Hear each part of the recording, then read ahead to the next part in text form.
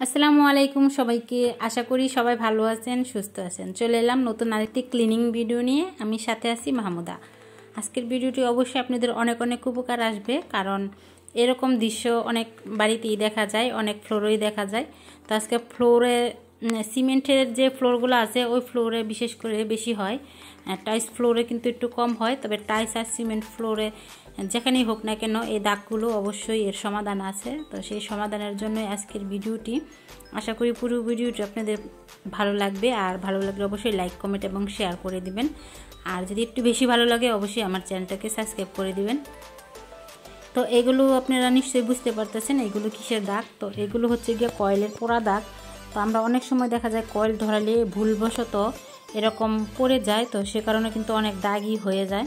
তো এই দাগগুলো আমি ইচ্ছাকৃত করেছি, টুকরা টুকরা করে কয়েল। আমার দুই একটা দাগ ছিল, তো সেটা ওঠাবো বলে আমি দুই একটা দাগ ইচ্ছাকৃতভাবে মানে টুকরা টুকরা করে করেছি যেন আপনাদের দেখানোর সুবিধার্থে আসলে কতটা সহজভাবে দাগগুলো ওঠানো যায়। তো দাগ ওঠানোর জন্য এখানে আমি কি কি নিলাম সেই উপকরণগুলো দেখেন, আর অবশ্যই থামনেল দেখে বুঝতে পারছেন কি কি উপকরণ। তো খুব অতি সাধারণ, সবার ঘরেই থাকে, সেটা হচ্ছে কি হারপিক এবং সরিষার তেল। তো এখানে পরিষ্কার করার জন্য হারপিকটাই যথেষ্ট। তো সর্ষের তেলটা আমি কি কারণে নিয়েছি সেটাও আপনাদের সাথে অবশ্যই বলব। আর আপনারা পুরো ভিডিওটা দেখবেন, ভিডিওটা অবশ্যই স্কিপ করবেন না। আর স্কিপ করলে বুঝতে পারবেন না আসলে এই ভিডিওটার মধ্যে আসলে কি লুকিয়ে আছে। পরিষ্কার করার জাদুকরি উপায় আসলে। আসলে হারপিকটাই আমাদের পরিষ্কার কাজে অনেকটা ব্যবহার মানে কঠিন কাজ ওঠানোর জন্য অনেকটাই সাহায্য করে। তো সেটা হচ্ছে গিয়ে এই রকম ফ্লোরের দাগগুলো বিশেষ করে হারপিক দিয়ে ওঠালেই ভালো হয়, অন্য কিছু দিলে তেমন কোনো ভালো পরিষ্কার হয় না। আর যেহেতু আমার ফ্লোরটা সিমেন্টের, তা সেজন্য আমি এর সাথে সরষের তেল মিশিয়ে দিয়েছি, কারণ হারপিক দেওয়ার কারণে সিমেন্টের যে তৈলাক্ত বাপটা সে বাপটা আসলে চলে যায়, সেজন্য আমি সরষের তেলটা দিয়েছি। যেন সিমেন্টের যে তৈলাক্ত বাপটা ওই বাপটা যেন খসখসে বা রুক্ষ না হয়ে যায়, এ কারণে আসলে তেলটা ব্যবহার করা নয়তো বা তেলটা আসলে কোনো অপরিষ্কারের কাজই আসবে না এখানে। আশা করি আপনারা বুঝতে পারছেন যে আসলে তেলটা কিসের কাজ? আসলে তেলটা তৈলাক্ত ভাবটা ধরে রাখার জন্যই আর হারপিকটা নিয়েছি যে কঠিন দাগটা, ওই দাগটা ওঠার জন্য। তো এখন আমি একটা ব্রাশের সাহায্যে মিশিয়ে তারপরে লাগিয়ে নিচ্ছি। আপনারা অবশ্যই এভাবে লাগিয়ে নেবেন। লাগিয়ে রাখার বেশ কিছুক্ষণ পরে হালকা করে উপর দিয়ে ঘষলে এটা আসলে উঠে যাবে। আর এখনই বুঝতে পারতেছেন ব্রাশের সাহায্যে লাগানোর সময় কিন্তু কিছুটা উঠে আসতেছে। এটা কিন্তু তেমন কোনো সমস্যাই না, কিন্তু অনেকের ক্ষেত্রে কিন্তু এটা দেখা যায় অনেক বাড়িতেই আমি মানে বাসা বাড়ি বলেন আর গ্রামে যে সব বাড়িগুলোই বলেন না কেন, সেখানে আমি দেখতে পাই, এরকম অনেক বাড়ি, এরকম দাগ হয়ে থাকে। তো অনেক সময় দেখা যায় আস্ত একটা কয়েলের দাগই হয়ে থাকে, অনেকে হয়তো বা ওঠাতে সক্ষম হয়, অনেকে হয়তো বা ওঠাতে সক্ষম হয় না। তো তাদের জন্যই আজকের আমার ভিডিওটা, আশা করি আজকের ভিডিওটা আপনাদের কাছে খুব ভালো লাগবে এবং আপনাদের অনেক উপকারেই আসবে। কয়েল তো আমাদের নিত্যদিনের সঙ্গী, সেটা আমাদের দৌড়াইতেই হয়, কারণ কয়েল ছাড়া চলেই না।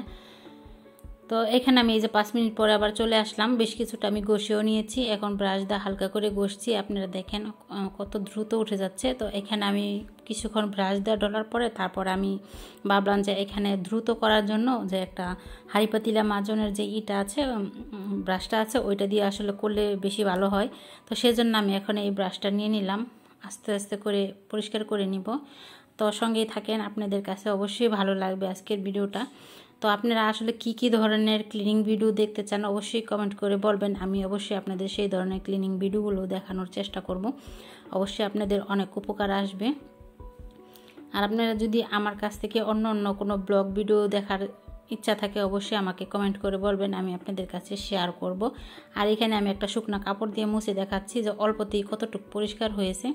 আর সিমেন্টের রুক্ষতা বাপটা কিন্তু এইভাবে ঘষলেও উঠে যায়, তো সেই কারণেও কিন্তু সর্ষের তেলটা অনেক উপকার হয়ে, হয় আর কি। আর এইখানে আমি যে আবারও একটু বাকি ছিল, বাটিতে রয়ে গেছিল, সেটা দিয়ে আবারও একটু ঘষে নিব, তো বেশ কিছুক্ষণ না, মাত্র পাঁচ থেকে ছয় মিনিট ঘষার পরেই এরকম সুন্দর পরিষ্কার হয়ে যাবে। তো দেখেন আমার ফ্লোরটা কত সুন্দর ক্লিনিং এবং পরিষ্কার হয়ে গেছে। আশা করি আজকের ভিডিওটা আপনাদের কাছে খুবই উপকারে আসবে।